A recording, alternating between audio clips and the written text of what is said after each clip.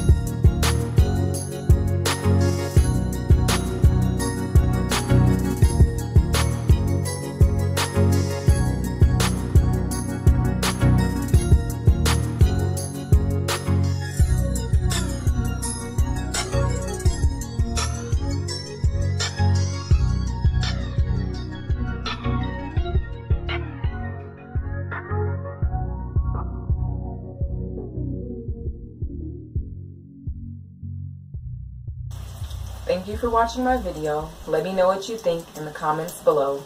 If you have any questions, you can also leave them there, or you can catch us on our website, www.earthsnutritionalelements.com, or follow us in any of the links that are below. And as always, like, comment, and subscribe for more videos like this.